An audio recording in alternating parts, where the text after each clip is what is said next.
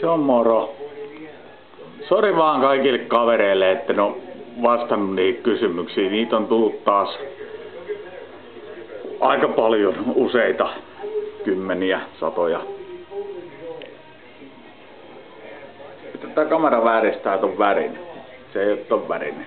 Mutta tota noin, nyt on vähän ongelmia vähän ollut itselläkin sikäli, että tota noin, en oikein tiedä vittu mitä tässä tekis. Haastemiestä paossa. Kai mä lähden Espanjaa. No. Toivottavasti joskus nähdään vielä. Näissä samoissa merkeissä. No, mutta nyt se on moro.